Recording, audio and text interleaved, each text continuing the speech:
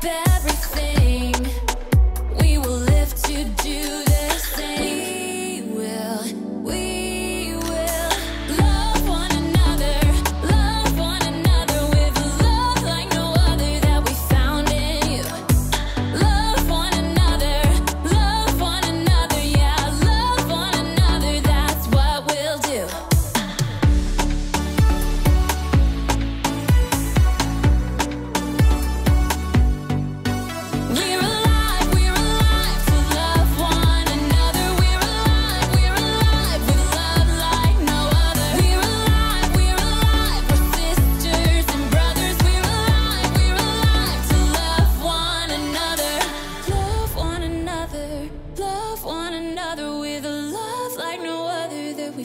Found in you. Love one another, love one another, yeah, love one another, that's what we'll do.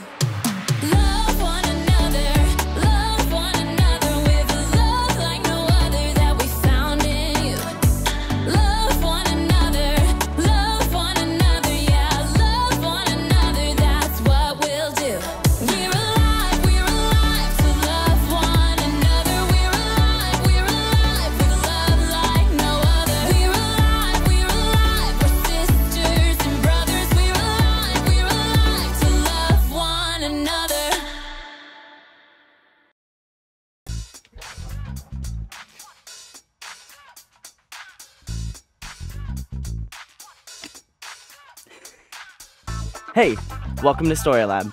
This week, we're taking a look at an incredible gift. It's one that we can receive and give.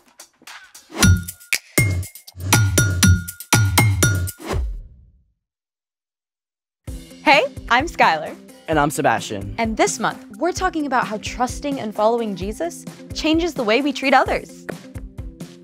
So we can, um, live right, You seem distracted. I guess. Anything you want to talk about? No. I mean, it's not that big of a deal. I did terrible on a test and I gotta retake it. I'm sorry, that's rough. And then my dog is kinda sick. Oh no. Yeah, and it's making me feel sad. Well, I can't make those things better, but maybe we can do something to take your mind off of it. Yeah? Ever seen a lava lamp? Lava? Not that kind. Oh, right. Lava lamp. I think my dad had one of those back in the dark ages. Yep. And we're gonna create our very own lava lamp to brighten your day. Alrighty then. Let's make it. For our lava lamp experiment, you're gonna need some things that are probably already in your kitchen a glass jar, baking soda, white vinegar, and vegetable oil. Don't forget the food coloring. Always the food coloring. You'll also need a small flat LED light like this one to make it extra cool. Where do we start? Step one scoop several large spoonfuls of baking soda into the jar. Ready?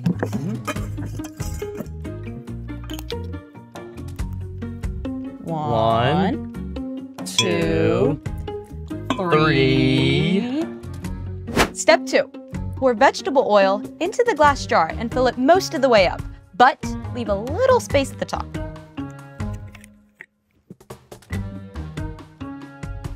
It's a lot of vegetable oil.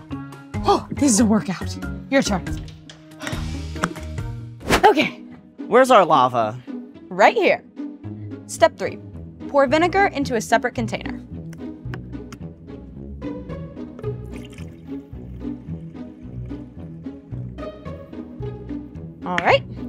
And then squeeze some food coloring into it. How much? Lots, about 15 to 20 drops. That'll do. What's next? Step four turn on the LED light, but first, turn all the surrounding lights off.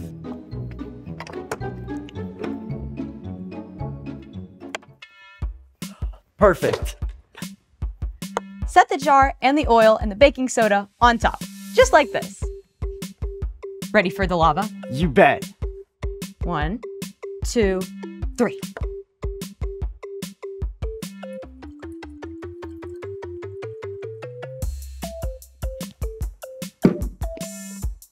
So, when is it supposed to like start happening? Give it a second.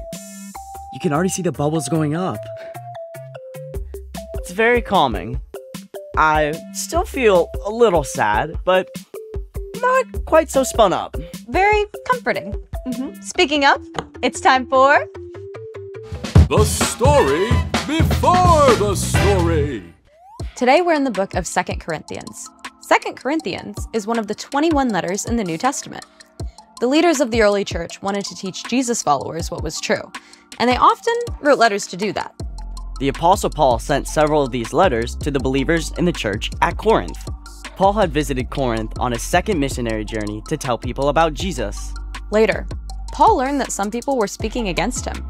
There were divisions in the Corinthian church. Paul wrote a letter to encourage them to get along and stay strong through hard times. Which is where our story starts. Take it away. Hey everyone, I'm Erica. During his ministry, the Apostle Paul traveled to dozens of towns and cities. People who like to do the math think Paul probably walked 10,000 miles during his journeys. You heard that right? 10,000! And you thought hiking two miles with your family was rough. But even though Paul visited so many places and started so many churches, he didn't forget the people he met, like the believers in the Corinthian church. Paul had spent more than a year in Corinth, and when he heard there was trouble among the Jesus followers, he sat down immediately to write them a letter. May God our Father and the Lord Jesus Christ give you grace and peace. Now, some Corinthian leaders were saying Paul wasn't really led by God's Spirit. They said Paul had faced so much trouble, it had proved that God wasn't really with Paul. What? You can bet Paul had some strong things to say about that. Give praise to the God and Father of our Lord Jesus Christ. He is the Father who gives tender love. All comfort comes from Him. He comforts us in all our troubles. Now we can comfort others when they are in trouble. We ourselves receive comfort from God. Paul couldn't wait to set the record straight. God is always with us, no matter what we're going through. And God is the source of all comfort.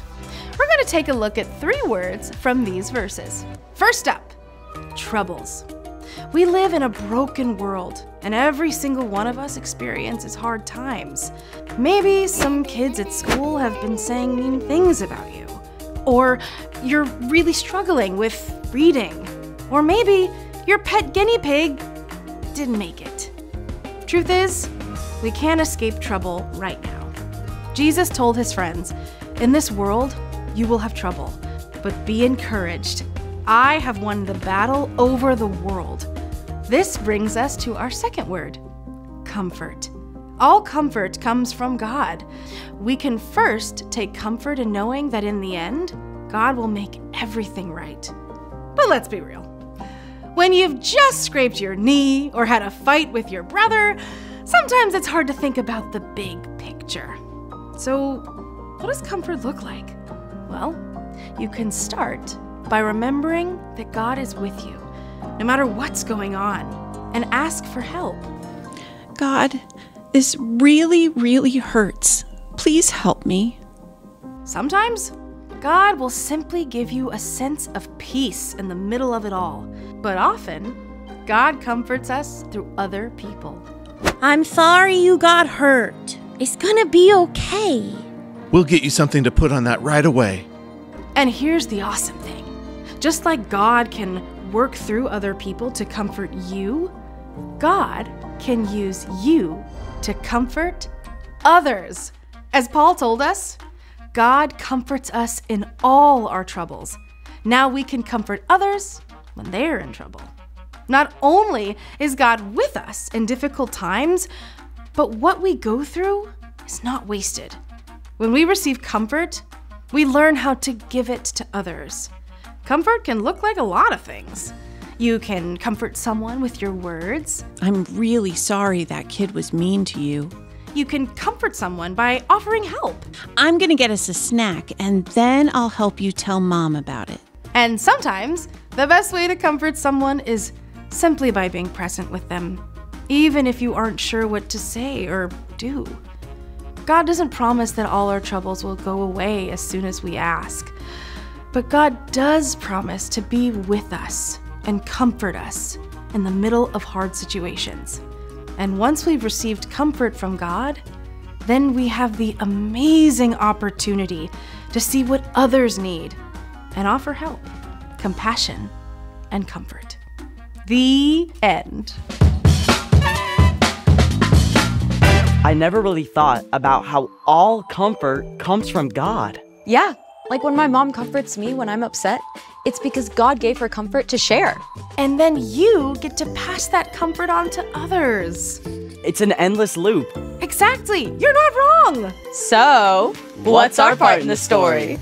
I'm so glad you asked.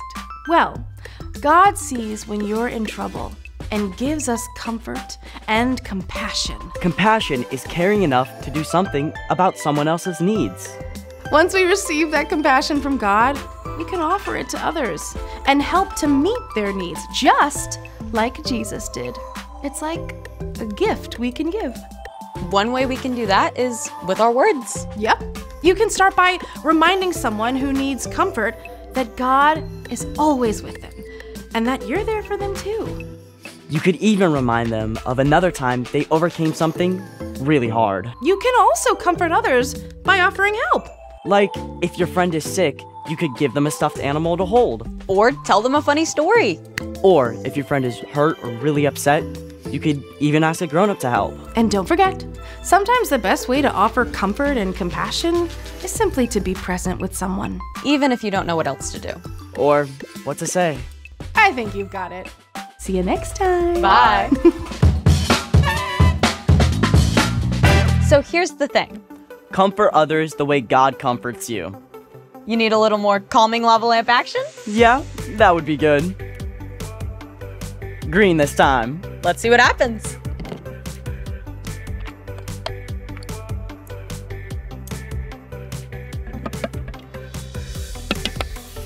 All right, ready? Whoa. Look at that. Thanks for joining us in the Story Lab. See you next time. It's kind of still. You gotta wait for it. gotta wait for it. Wait for it.